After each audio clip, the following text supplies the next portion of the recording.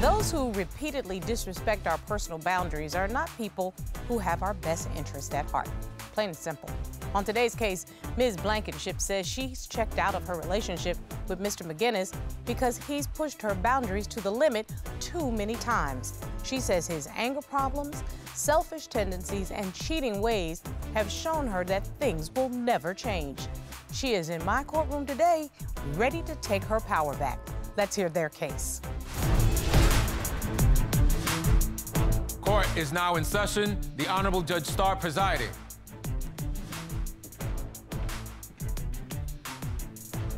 Your Honor, this is the case of Blankenship versus McGinnis. Thank you very much, Ms. Blankenship, Mr. McGinnis. Ms. Blankenship, you say today you are leaving Mr. McGinnis and his toxic behavior behind and starting fresh without him. Yes, Your Honor. And Mr. McGinnis, you say Ms. Blankenship means the world to you, and today you plan to fight to keep your family together. Yes, Honor. Okay, so let us see why we are here today. Ms. Blankenship, you brought the case. Why are we in divorce court, ma'am? I'm here to give him an ultimatum. I'm tired of his cheating and his selfish ways and his and he lies. It sounds like you are a woman who is fed up. Yeah. Mr. McGinnis, you heard what Ms. Blankenship said. What do you say, sir? Actually, Honor, I, I want to uh, stay with Miss Blankenship because she's the greatest lady I've ever been. My grandbabies love her, everything. She's the most loyalty lady I've ever met. And so you're saying love is not the issue? No.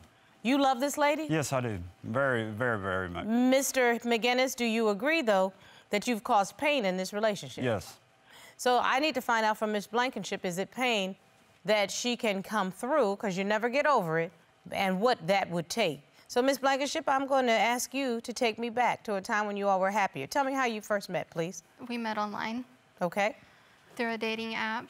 He met my daughter. I met his daughter. Everything was great. I got he met my family. I met his. We bonded over our disabilities. He almost died of cancer. Uh, I died almost. I died almost at three years old. So you all had some health challenges. Yes. And you were able to survive those I health survive, challenges. Yes. Obviously. Three years old. Yes. And so having unique health challenges, that was something that connected the two of you. Is that correct? Yes, it did.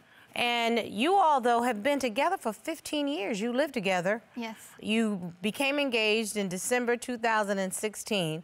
Yes. And you all have older children from mm-hmm. previous relationships. Am I correct? Yes, Your Yes. Honor. And there are some grandchildren Yes. that are young people age. Yeah. Like Are. three, four, five, and six, and that, that age, right? they sure are. So yes. this should be some happy times in your life, It should. Yes. but there became some sad times.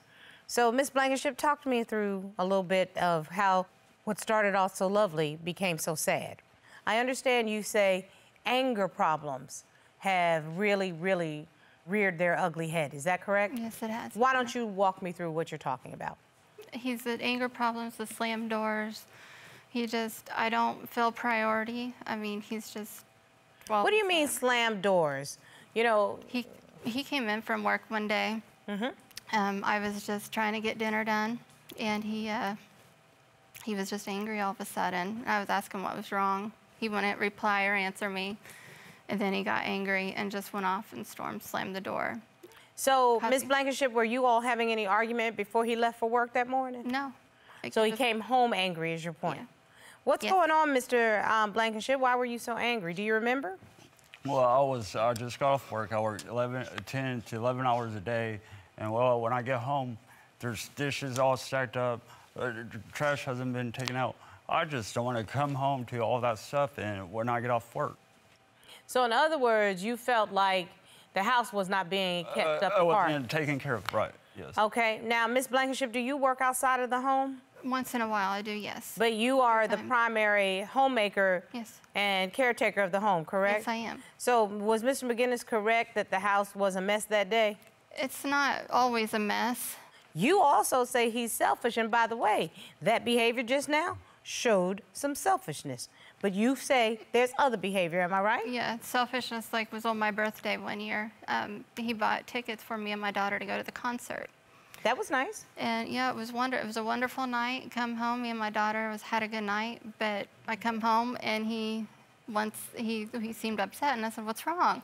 and he said, and he wanted the money back, half of it, back from the concert. I thought it was a gift. I thought it was a gift too, but obviously it wasn't. What happened, Ended Mr. up McGinnis? Well, why go see the same concert like three? Well, we already seen the concert two times. Why go back and see him again? I'm sorry. Did you give her the tickets? Yes, that's why I wanted the half of the money back because uh, we already seen them a couple of times. Sir, I'm confused. Did you buy tickets for Miss Blankenship and her daughter to go see a concert? Yes, So why did you want her to give you half the money back? Because uh, she's already seen the concert twice. Why go three times? Sir, I don't know about you, but when Prince was at Madison Square Garden, I went seven days in a row to hear him sing every single same song, to dance every single dance, because that's who I love. Okay? Okay. So maybe that's why she went to the concert. Was it an artist that you enjoyed? Yes, I do enjoy the concert. So if you're going to do something nice, Mr. McGinnis, tell me why would you ask for the money back? That seems kind of mean, sir. Because I thought because uh, it gets tired to see the same person over and over. Why not? But did he go to the concert? No, he didn't. No. So why were you annoyed? Why weren't you home watching wrestling or Oh, something? I was out- out of work. Okay, so you bought tickets for her to go to a show to enjoy herself, and she enjoyed herself, and then you got pissed off. Yes. Better to be pissed off than pissed on. Go ahead, ma'am. Birthday concert. I understand he got a problem with birthdays because the birthday dinner got ruined also. It did. I thought, you know, he's going to treat me out to a nice dinner, but yet again, it was just a disappointment. He, he wanted me to go and half with it. Do you want to be in a relationship with Mr. McGinnis? What happened at the mall? He was on his phone, and I said, What are you doing? He's like, I'm just on my phone with a friend. So let me see your phone. He's talking to a girl, how he left me. He was at the mall with his mom. I don't get that. Why does she gotta go through my phone? Because she about to find out this. This is Jack's girlfriend. Stop calling and texting him. That's foul. That's why she go through your phone.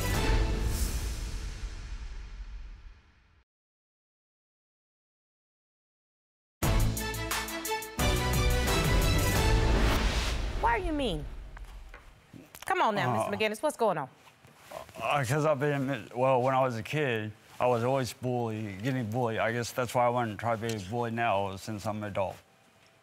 So you are having mama issues. You want her to treat you like your mama did. I'm not your mama. And unless I miss my guess, you're not trying to raise no grown 41 year old man. Am I correct? I'm just looking for someone to love me and make me a priority and put me on a pedestal. But you say he's also cheating. I have seen I have seen that, yes. Well, I've seen messages from, of him cheating, yes. Mr. McGinnis. How's it cheating when you see a text message, message and or a hug? That ain't cheating. Okay, well, first of all, let's hear what she says, and then you and I'll talk about it. You say you saw him cheating. What happened at the mall? It was we at the mall. It was during the tax time season. We were gonna go shopping, and he um, left to go smoke for for go take a smoke. And he came back. It was longer as usual, and I um, just left it at that. and Went home, and he was on his phone. And I said, "What are you doing?" He's like, "I'm just on my phone with a friend." So let me see your phone.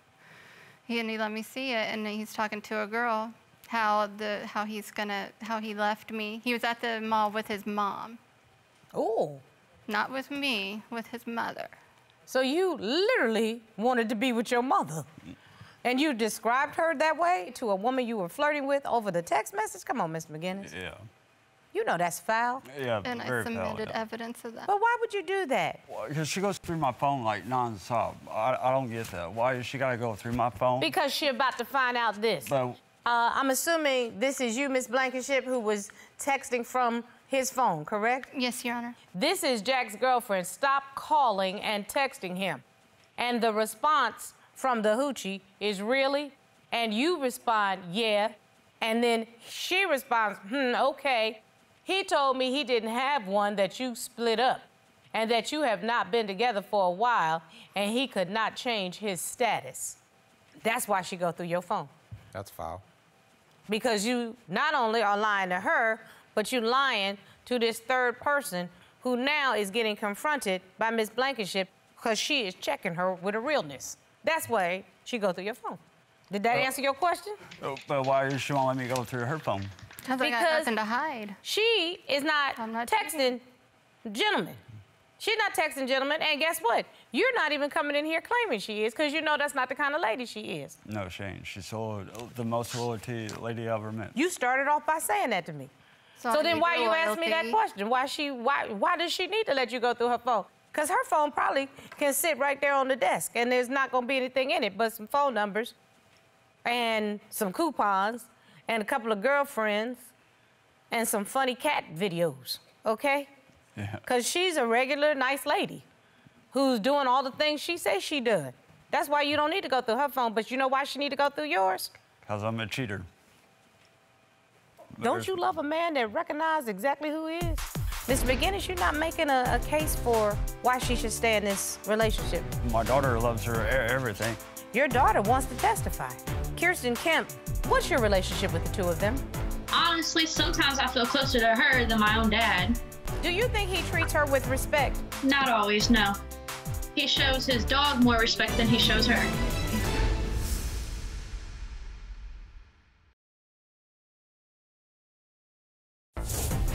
If you'd like your case to be heard on divorce court, call us toll free at 1 877 311 2222 or log on to our website at divorcecourt.com. Missed a show? Watch full episodes on our streaming platforms and follow us on social media for exclusive content.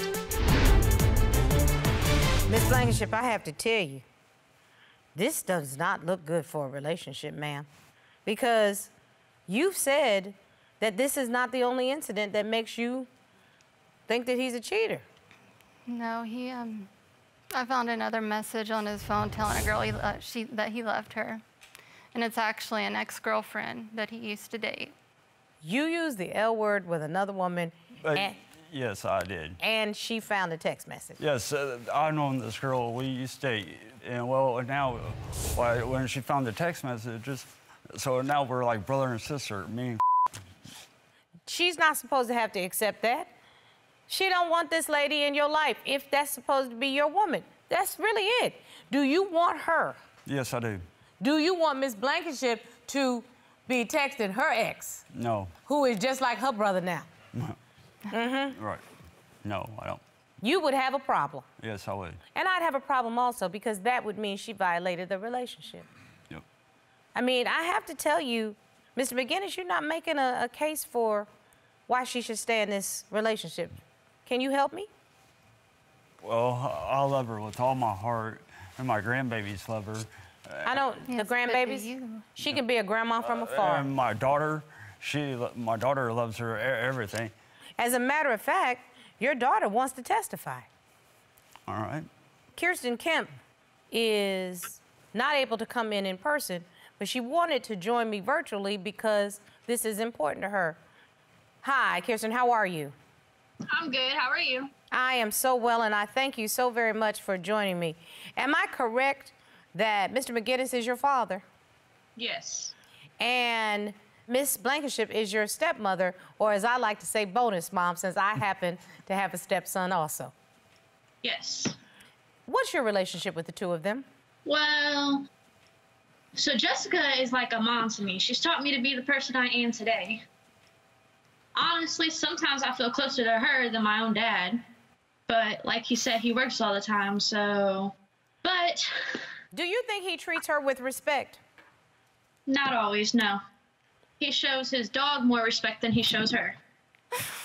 And uh, Ms. Kemp, how would their breakup affect the family dynamic? Because it seems like there's a whole lot of relationship here.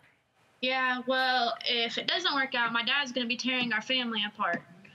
I know I'm grown now and on my own, but I still come to her for all my needs. Her grandkids, my kids, adore their Nini. He would just be breaking us all apart, ruining our family. And the problem is there's been some recurring patterns of behavior that Miss Blankenship just can't put up with anymore. Have you seen what I'm talking about? Yeah, I didn't even know about the cheating. They try and keep their business to themselves, but I don't think it's a good thing. It's not good, and he shouldn't be doing that to her. That's my dad, but I stand on her side. And I appreciate you just being very honest about that. Thank you so much, Ms. Kemp, for joining me today. Mr. McGinnis, did you hear what your daughter said? Yes, I did. You should thank Ms. Blankenship for helping to raise a positive young lady because she knows her worth. She knows her value. And Mr. McGinnis, you're self-centered and you, these anger problems just are not good. Right. You get angry for no reason and you take it out on this lady. And in is- issues of kind of sneak cheating and disrespect, there's no way for Miss Blankenship to trust you and to want to be in a relationship with you. Miss Blankenship, what do you want I'm out just of not happy. I'm, I'm just not happy. I mean, he's always angry. He don't put me priority. I don't feel loved. I mean, I'll shower him. I'll do things for him, but where's, where is he doing it for me? 'Cause it's not. He's not. No. But Miss Blankenship, I want you to hear some real talk. Okay. You're a nice lady. You are a good mother, but you're not actually married to this man. You're engaged to this man. Yes, I am. You do realize at any time that he says it's done, you left on your own. And right now, you're being a doormat. Do you know what I mean? Yes, I do. Yeah. You're laying on the floor and letting folk walk all over you. and I don't like it. And you shouldn't.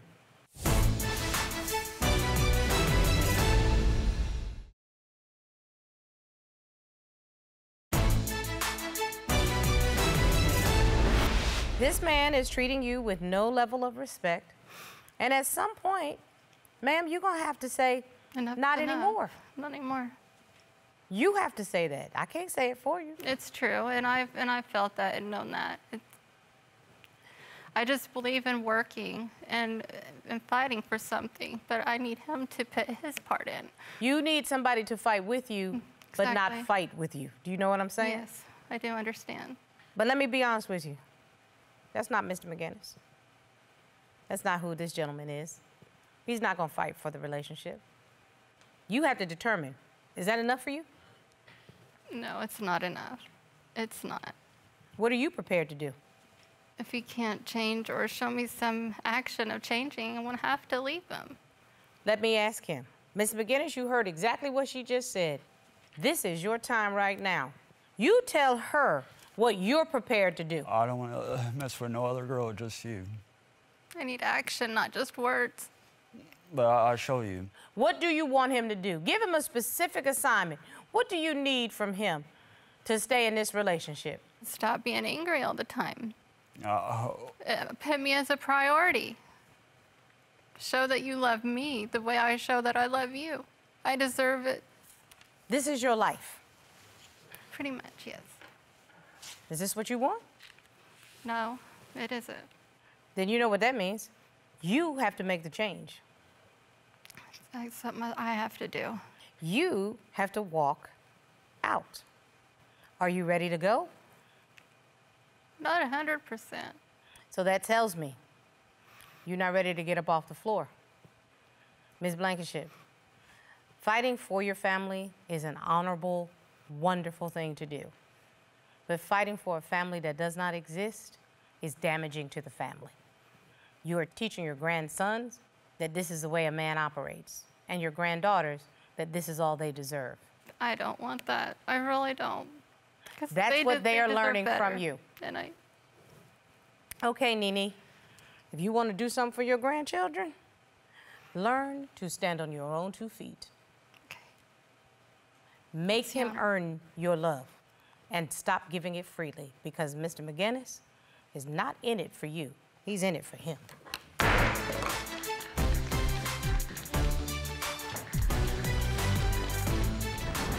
Robert, he was not willing to fight for that relationship because he was getting exactly what he wanted a doormat. Absolutely. I mean, it's so sad. I mean, I felt I felt bad for her the, throughout the whole case. That's because she does not have the strength mm-hmm. to step out on her own. She's not leaving. No. She, and it's not because she's comfortable, it's not because she's happy. She's not leaving because she does not see any other alternative. Right. That's the saddest part.